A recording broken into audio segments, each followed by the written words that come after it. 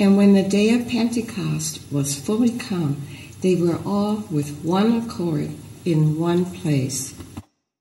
And suddenly from heaven there came a sound like the rush of the violent wind. Whoosh, whoosh, whoosh. And it filled the entire house where they were sitting. Divided tongues as of fire appeared them, and a tongue rested on each of them.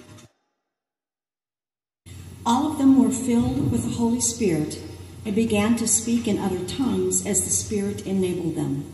Now there were staying in Jerusalem God fearing Jews from every nation under heaven.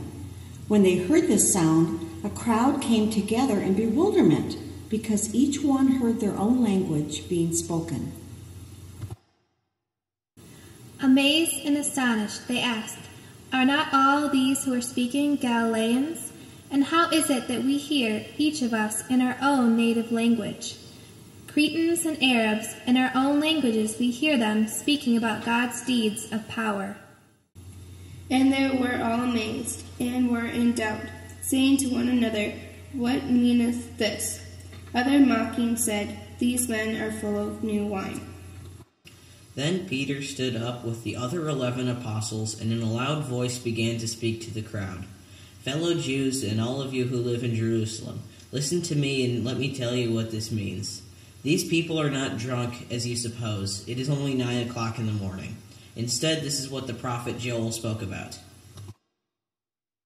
And it shall come to pass in the last days, saith God, I will pour out my spirit upon all flesh, and your sons and your daughters shall prophesy, and your young men shall see visions, and your old men shall dream dreams. And on my servants and on my handmaidens I will pour out in those days of my spirit, and they shall prophesy. And I will show wonders in heaven above, and signs in the earth beneath blood and fire and the vapor of smoke. The sun shall be turned into darkness and the moon into blood before the great and notable day of the Lord come. And it shall come to pass that whosoever shall call on the name of the Lord shall be saved. Peter made his appeal to them, and with many other words he urged them, saying, Save yourself from the punishment coming on this wicked people.